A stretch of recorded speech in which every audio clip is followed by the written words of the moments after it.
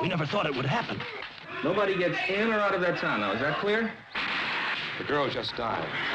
How do you intend to let the people know about all this? We were asleep.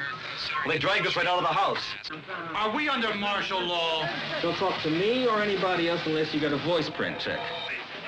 All hell's broke loose in town. Nobody knows what's going on. Now look, you just can't push us around this way. We've got to get a nuclear weapon in the air above that town.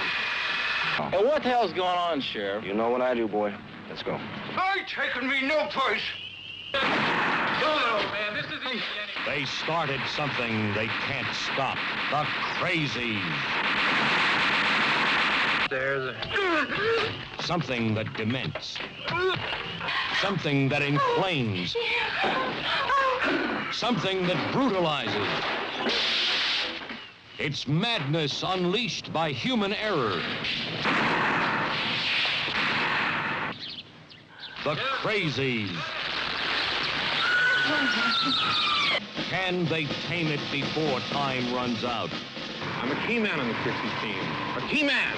I'm one of the developers of the goddamn thing. Now, if you want me to get the job done, you get me the stuff I need, and you get it the hell in here before the morning's over. A small town becomes a giant stockade. Evans City must be contained or leveled. We're all concerned with Evans City, Mr. Hawks. If we have to push the button, we just say the weapon went off. Get me the president.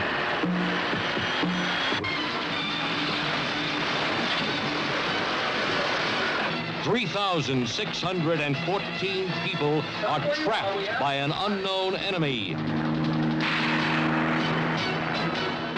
Five are on the run. Can they escape the spreading fury of the crazies? You can make it. I know it.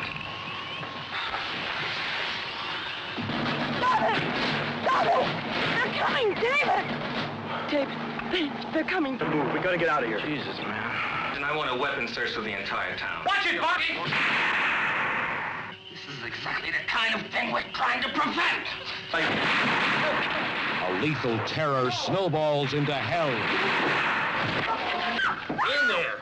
Madness runs rampant. We'll dope it out. Sooner or later. Sooner or later.